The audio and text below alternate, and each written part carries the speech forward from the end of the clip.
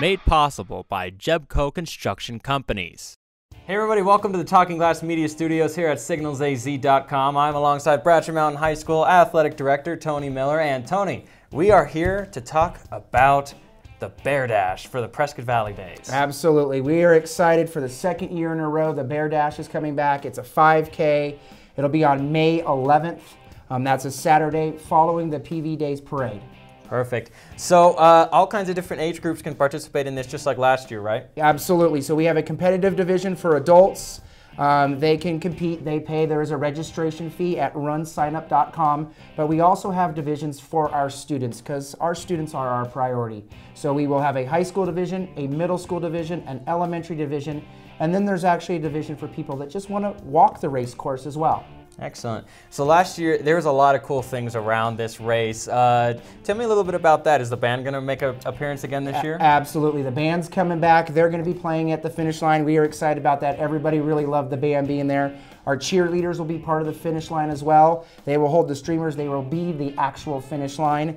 And then culminating the race, we went a step further. We spoke with the Special Olympics.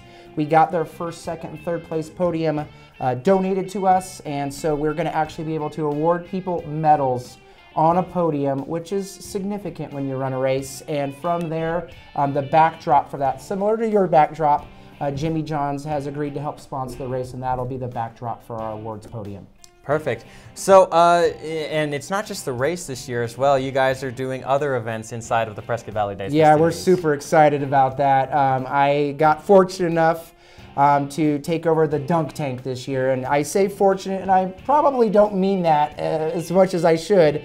Um, Stuco, our student government um, students, will be running the event. It's $1. They get to throw, make three throws.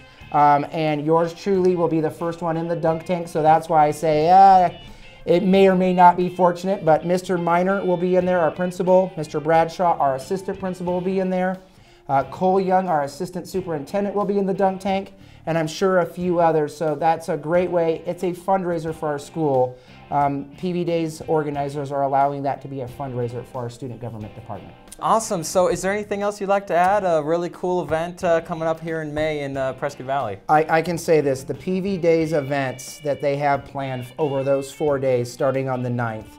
It should be incredibly fun this year. It is family friendly. They have events um, all through the weekend. So bring your families out, have some fun. Um, I know our school is honored to be such a big part of these events. So come out, support the kids, support the community, and it should be a great weekend. Perfect. Thanks so much for joining us, Tony. We'll see you out there in May and, of course, uh, the rest of the season at the fields this year for Bradshaw Mountain High School Athletics. Thanks for joining us here at the uh, Talking Glass Media Studios at signalsaz.com. Keep it locked on signalsaz.com for all your news, entertainment, sports, and events. Made possible by Jebco Construction Companies.